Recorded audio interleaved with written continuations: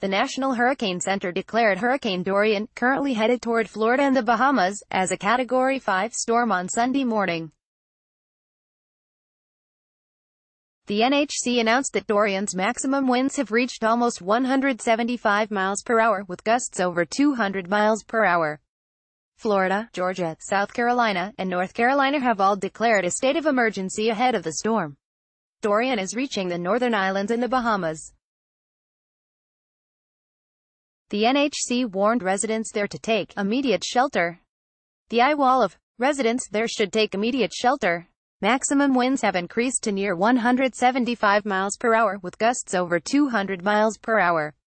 Extreme winds and storm surge will continue for several hours https colon slash slash t.co slash post 7 twitter.com slash 83 landmy 1 WP National Hurricane Center at NHC underscore Atlantic September 1, 2019 Let's block ads. Why?